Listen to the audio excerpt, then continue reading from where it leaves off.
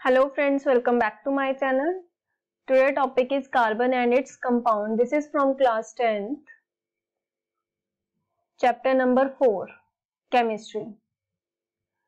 First of all इस सब जो भी ये चैप्टर है इसमें हम बात करेंगे कार्बन के बारे में उसकी प्रॉपर्टीज़ के बारे में वैलेंसी के बारे में कार्बन किसके साथ बॉन्ड बनाता है ये सब हम डिस्कस करेंगे जो भी इस चैप्टर में है first carbon carbon has atomic number is six इसका एटॉमिक नंबर सिक्स होता है।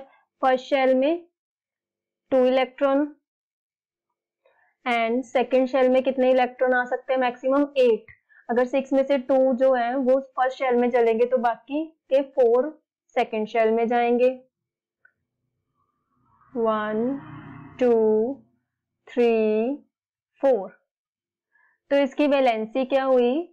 Valency is plus four and minus four ये फोर इलेक्ट्रॉन रिमूव भी कर सकता है और फोर इलेक्ट्रॉन ले सकता है।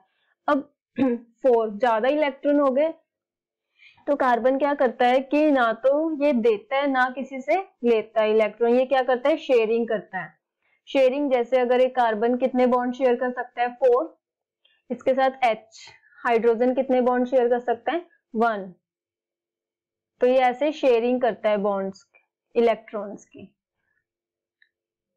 जो शेयरिंग के शेयरिंग करने से जो बॉन्ड बनता है, उसको बोलते हैं हम covalent bond covalent bond and carbon has valency 4 therefore it is called tetravalency तो क्या बोलते हैं? टेट्रावेलेंट भी बोलते हैं। Tetravalent. ठीक है? अगर हम डॉट स्ट्रक्चर की बात करें कि कैसे इलेक्ट्रॉन शेयर करता है, कार्बन की आउटरमोस्ट शेल में कितने हैं? फोर इलेक्ट्रॉन, उसको हम क्रॉस से रिप्रेजेंट करते हैं। और दूसरा एटम ले लेते हैं हम, हाइड्रोजन। हाइड्रोजन के आउटरमोस्ट शेल में कितने होते हैं इलेक्ट्रॉन? वन। इसको हम डॉट से प्रोडक्ट, रिप्रेजेंट करते हैं।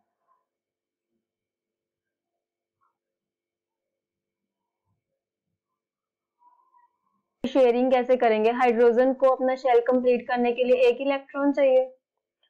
तो ये कार्बन के एक इलेक्ट्रॉन के साथ अपना ये पूरा कर लेगा ऑक्टेट हाइड्रोजन को एक चाहिए। हाइड्रोजन को एक तो हर हाइड्रोजन कंप्लीट करेंगे बाय शेयरिंग और कार्बन को कितने चाहिए ऑक्टेट कंप्लीट करने के लिए? Eight one two three four five six seven eight तो ये सारे इलेक्ट्रॉन कवर कर लेगा इसमें से। यहाँ से। तो ये बन गया dot structure of methane. Methane मतलब सी नंबर ऑफ़ कार्बन कितने वन कितने फोर। इसका क्या नेम है? मिथेन।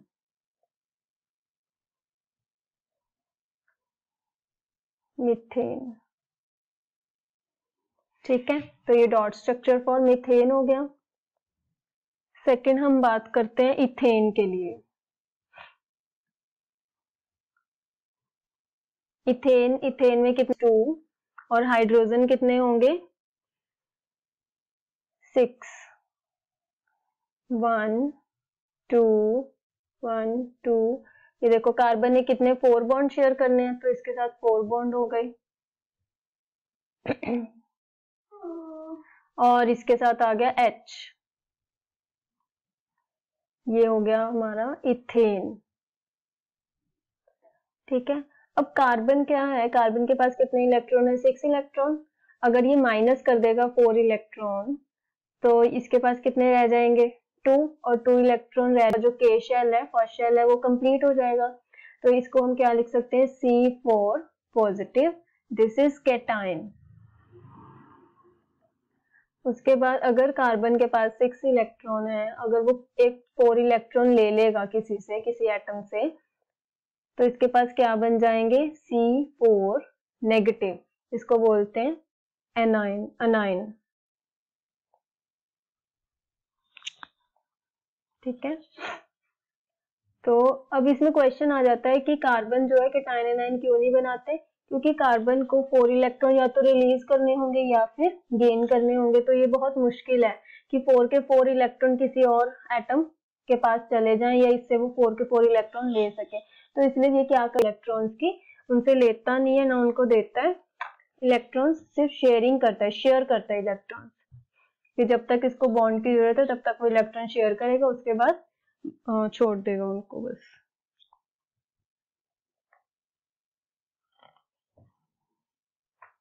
नेक्स्ट हम बॉन्ड डिस्कस करेंगे।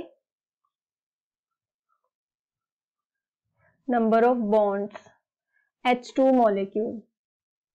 जब हम कोई सिंगल एच लिखेंगे तो हम उसको बोलते हैं एटम और अगर हम उसको पेयर में लिखेंगे या उसके कंपाउंड में तो उसको बोलते हैं मॉलिक्यूल तो ये टू मॉलिक्यूल में हमने देखा है। एच के आउटमो शेल में कितने होते हैं? वन एक और एच लेना है, उसके भी वन होते हैं। तो इसको कंप्लीट करने के लिए ये क्या करेगा? इसके साथ शेयर करेगा। और ये वाला इसके साथ शेयर करेगा। तो इनमें बॉन्ड क्या बन रहा है? सिंगल बॉन्ड हाइड्रोजन एटम में कौन सा बॉन्ड फॉर्म होता है? सिंगल नेक्स्ट बात करते हैं ऑक्सीजन मॉलिक्यूल O2 O के O के पास कितने इलेक्ट्रॉन हो, कितना एटॉमिक नंबर इसका? एट तो टू फ़र्स्ट शेल में सिक्स सेकंड शेल में ये electronic configuration that means outermost shell में कितने होंगे इसके?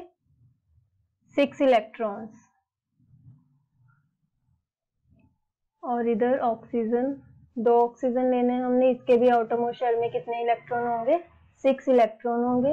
ये इसको कितने चाहिए कंप्लीट होने के लिए? अब एक ऑक्सीजन को टू टू इलेक्ट्रॉन्स और चाहिए ताकि ये अपना जो ऑक्टेट है वो कंप्लीट कर सके। तो ये किसके साथ शेयरिंग करेगा?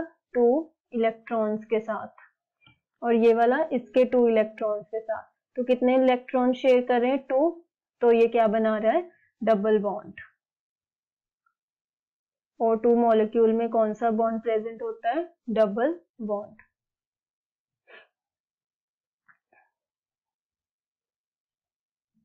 ओके नेक्स्ट हम बात करते हैं नाइट्रोजन की. नाइट्रोजन के आउटर मोस्ट शेल में कितने होते हैं? सेवन सेवन तो उसका एटॉमिक नंबर होता है तो two five outermost shell हो गए. Five one two three four five one two three four five अब नाइट्रोजन को ऑक्टेट कंप्लीट करने के लिए कितने इलेक्ट्रॉन चाहिए? थ्री क्योंकि फाइव तो पहले से ही है। और थ्री चाहिए तभी ये एट कंप्लीट कर पाएगा।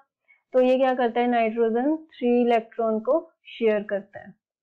और ये भी थ्री इलेक्ट्रॉन को शेयर करेगा। तो इसमें कितने बॉन्ड बन गए? थ्री बॉन्ड मतलब triple bond triple bond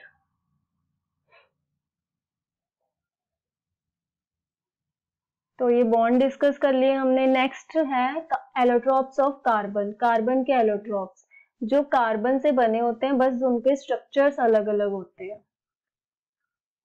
एलोट्रोबन allotropes of carbon कौन कौन से हैं?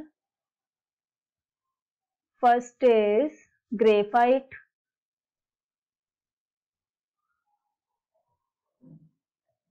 second is diamond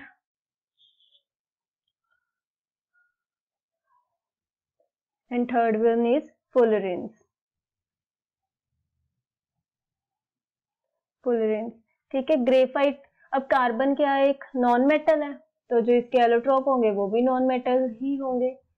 this is non metal तो ये भी है नॉन मेटल है but graphite non non metal है और ये क्या करता है? गुड कंडक्टर ऑफ़ इलेक्ट्रिसिटी है ये। Good conductor of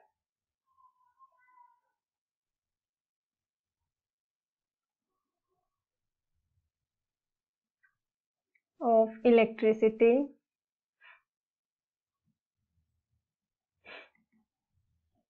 और डायमंड डायमंड भी एक नॉन मेटल है बट ये क्या है? हार्ड इन नेचर और हमने जब मेटल नॉन मेटल का चैप्टर किया था, उसमें हमने नॉन मेटल की क्या प्रॉपर्टीज़ पढ़ी थी कि जो नॉन मेटल होते हैं, वो हार्ड नहीं होते and it is bad conductor of electricity but ये क्या है इसका? बिल्कुल ही उल्टा. ठीक है? फुलरेंस का सिर्फ़ आपने नेम याद रखना है और आपके सिलेबस में नहीं है. ओके ये तो थे एलोट्रोप्स किसके? कार्बन के. नेक्स्ट हम बात करते हैं versatile nature of carbon carbon मतलब यूनिक नेचर क्या है कार्बन का? क्यों है? ये हमने फ़र्स्ट फ़र्स्ट पॉइंट तो ये कि कार्बन यूनिक नेचर क्यों कार्बन ही ऐसा कंपाउंड है जो अपने अपने ही एटम के साथ कंबाइन होके लॉन्ग चेन्स ये बनाता है। ठीक है? और इसकी इस प्रॉपर्टीज़ को क्या बोलते हैं? कैटिनेशन कैटिनेशन बोलते हैं, ये चेन्स में हमें मिलता है, बहुत लंबी लंबी चेन्स इसकी मिलती है। ब्रांचेज में मिलता है ये ब्रांचेज में भी ये अपने आप को बना लेता है। ये देखो जैसे दिस इज़ ब्रांचेस और ये रिंग में भी होता है।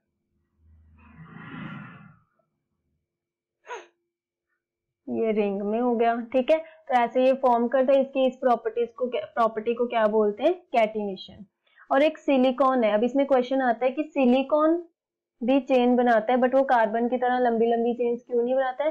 बिकॉज़ सिलिकॉन क्या है? More reactive more reactive than carbon therefore ये क्या करता है? किसी और एटम के साथ भी रिएक्ट कर देता है और खुद बॉन्ड जो है, वो ब्रेक कर देता है। तो वीक बॉन्ड इसमें बोल सकता हूँ ये क्या बनाता है? स्ट्रॉन्ग बॉन्ड बनाता है विद कार्बन एटम इटसेल्फ तो फ़र्स्ट प्रॉपर्टी तो इसकी हो गई catenation second property is tetravalency जो कार्बन है वो क्या है? फोर बॉन्ड्स शेयर कर सकता है फोर इलेक्ट्रॉन वो भी स्ट्रॉन्गली जब ये किसी के साथ शेयर करता है तो वो एटम बहुत ज़्यादा स्ट्रॉन्ग बन जाता है, फिर उनको ब्रेक करना बहुत ज़्यादा मुश्किल है. दैट्स वाई इट्स ये बहुत ज़्यादा स्ट्रॉन्ग है और इसकी इस प्रॉपर्टी को टेट्रावेलेंसी भी बोलते हैं. टेट्रावेलेंसी मतलब इसके फोर वैलेंस शेल में फोर इलेक्ट्रॉन है.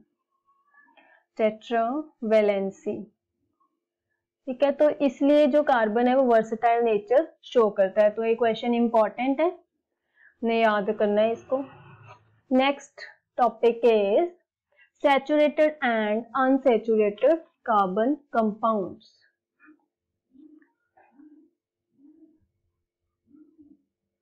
saturated carbon होते हैं, जिनमें सिंगल बॉन्ड बनता है। Saturated carbon compound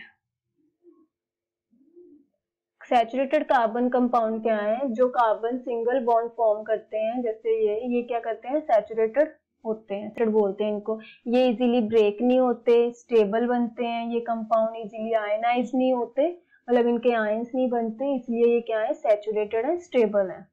उसके बाद सेकेंड है कि unsaturated carbon compound unsaturated carbon compound अब इसमें क्या है? डबल बॉन्ड हो सकते हैं सिंगल बॉन्ड हो सकते हैं, ठीक है? डबल बॉन्ड सॉरी सिंगल तो अनसेचुरेटेड हो सेचुरेटेड हो गया डबल और ट्रिपल बॉन्ड इसमें प्रेजेंट होते हैं। क्यों? क्योंकि ये रेजोनेंस शो करते हैं। ये देखो, अगर डबल बॉन्ड बना होगा तो ये शिफ्टिंग के कारण ये अनस्टेबल परफॉर्म करेंगे तो ये क्या होंगे? अनसेचुरेटेड अनसेचुरेटेड मतलब जो स्टेबल नहीं होते unsaturated unstable not stable not stable ठीक है? तो ये है सेचुरेटेड अनसेचुरेटेड उसके बाद आ जाता है नेमिंग्स नॉमिन बोल सकते हैं। कि अब इनकी नेमिंग कैसे करनी है स्ट्रक्चर्स की। तो फ़र्स्ट हम बात करते हैं, अगर नंबर ऑफ़ कार्बन वन है वन नंबर ऑफ़ कार्बन है, उसके लिए हम यूज़ करेंगे myth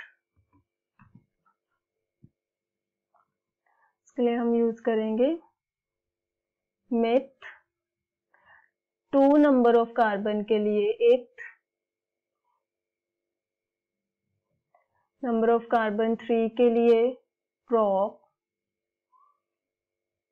number of carbon four के लिए ब्यूट,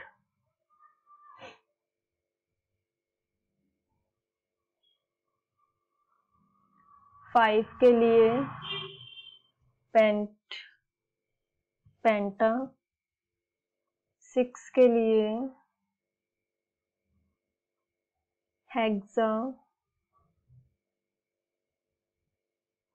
सेवन के लिए हेप्टा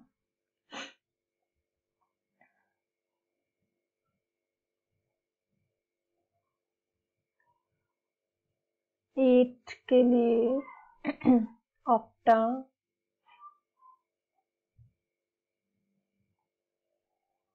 नाइन के लिए नोना।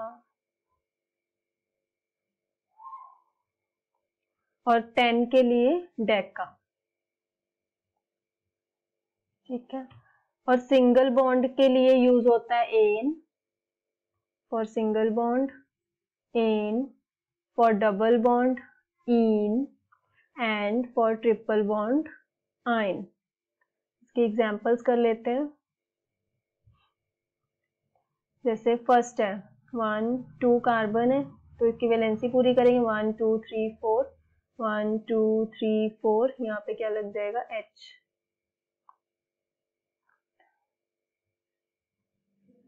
ठीक है? तो ये नंबर ऑफ़ कार्बन कितने हैं? टू टू के लिए क्या यूज़ हो रहा है? एक एक अब ये सिंगल बॉन्ड है सी और सी के बीच में तो ये क्या हो जाएगा? एन इथेन ठीक है? अब सेकंड अगर हम करें one two three four carbon अब इसकी वैलेंसी पूरी करनी है।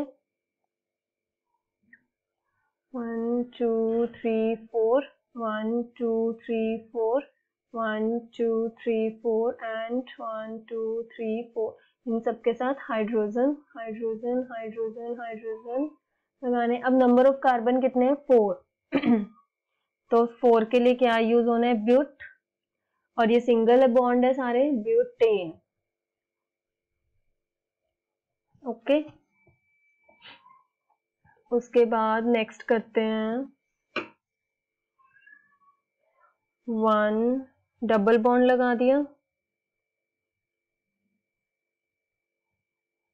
हमने प्रेफरेंस अगर डबल बॉन्ड है किसी चेन में तो प्रेफरेंस देनी है डबल बॉन्ड को as compare to single bond अगर ट्रिपल बॉन्ड है तो प्रेफरेंस किसको मिलेगी? ट्रिपल बॉन्ड को, फिर डबल फिर वन मतलब सिंगल बॉन्ड को।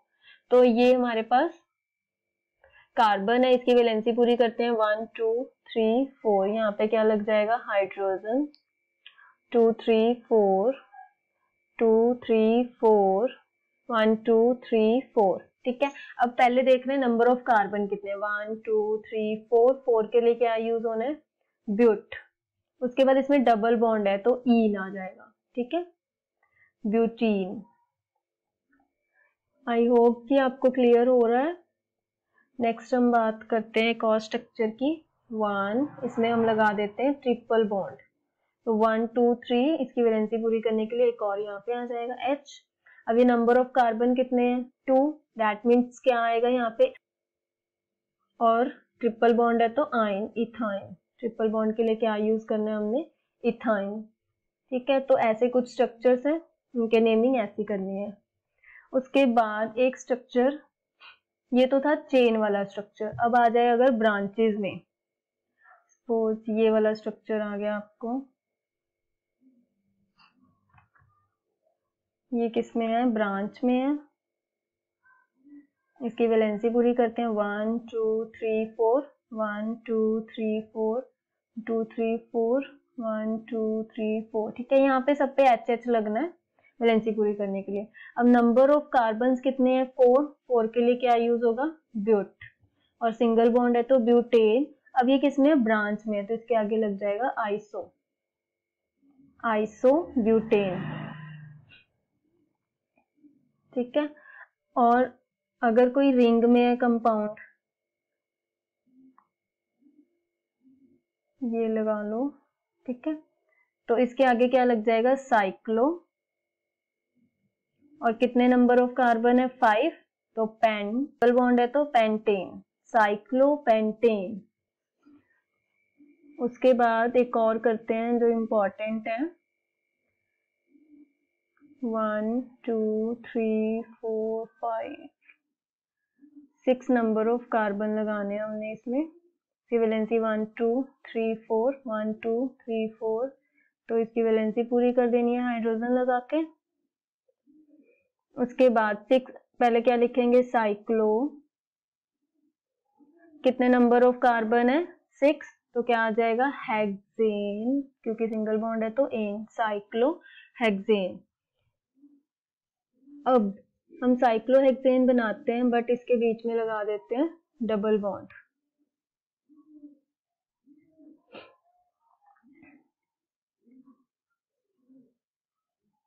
वैलेंसी पूरी करें वन टू थ्री फोर तो एक एक लगेगा ये हाइड्रोजन और यहाँ पे फॉर्मूला क्या हो गया? सी कितने सिक्स हाइड्रोजन कितने सिक्स ये फॉर्मूला हो गया। इसको बोल, इसको क्या? साइक्लोहेक्सीन नहीं बोलना है, इसका नेम है बेंजीन ये याद रखना है आपको। इसका क्या नेम है?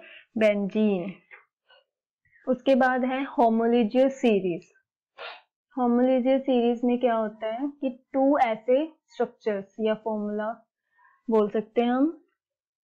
ऐसे कंपाउंड्स होते हैं इसमें विद फंक्शनल ग्रुप कि जिनका डिफरेंस कितना होता है? C H two same functional group होना चाहिए।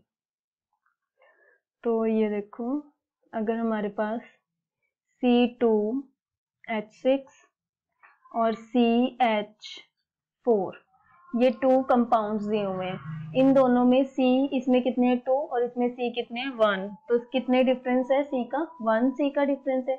इसमें एच सिक्स है, इसमें फोर तो एच कितने एच का डिफरेंस है? Six minus four is two तो इसका डिफरेंस कितना है? सी एच टू इसको क्या बोल सकते हैं? होमोलिजियस सीरीज़ बोल सकते हैं। ठीक है?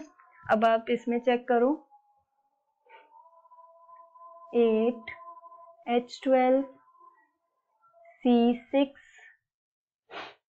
H ten C seven H ten अब इनमें से कौन सी होमोलिजियस सीरीज़ है? पहले इन दोनों का डिफरेंस देख लेते हैं। इसमें सी कितने सी का डिफरेंस है? टू का और एच का टू तो ये तो नहीं है। उसके बाद इसमें चेक करते हैं कितने डिफरेंस है। सी वन सी का डिफरेंस है तो भी ये एच नहीं है। और अगर हम इन दोनों में चेक करें, कितने सी का डिफरेंस है? वन और हाइड्रोजन का two twelve minus ten is two तो ये कौन सी होगी? होमोलिजियस सीरीज़ फ़र्स्ट और थर्ड वाली। दिस इज़ होमोलिजियस सीरीज़ ठीक है? और इस चैप्टर में आ, मतलब जो टेंथ का सिलेबस रिड्यूस हुआ है उसके अकॉर्डिंग मैं वीडियोस बना रही हूँ। तो बाकी का चैप्टर इसमें नहीं इंक्लूडेड अगर कोई और बच्चा ये वीडियो देख रहा है जिसको वो चैप्टर आना है तो आप मेरे को कमेंट बॉक्स में बता दो मैं उसका भी उसकी वीडियो अलग से बना दूँगी, ठीक है? तो ये होमोलिजियस सीरीज़ हो गई नेमिंग्स भी हो गई हमारी सैचुरेटेड अनसेचुरेटेड कार्बन भी हो गया डॉट स्ट्रक्चर भी हो गए। अगर हम मिथेन का डॉट स्ट्रक्चर करें सॉरी मिथेन का कर चुके हैं इथेन का।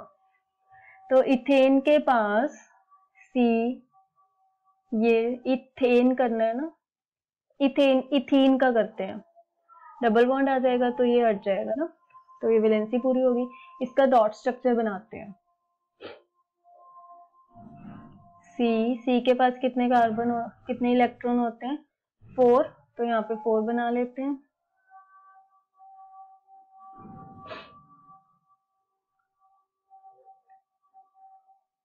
और हाइड्रोजन कितने लगाने हैं?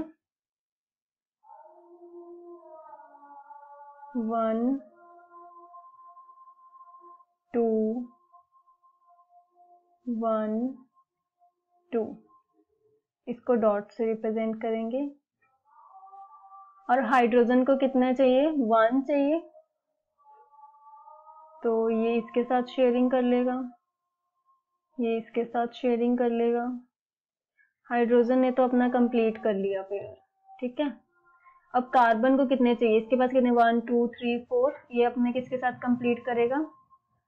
वन टू थ्री फोर तो फाइव सिक्स ये कंप्लीट कर लेगा इसके साथ। इसमें देखो कितने आगे फोर कार्बन के फाइव सिक्स सेवन एट और ये वाला कार्बन किसके साथ कंप्लीट कर लेगा? इनके साथ।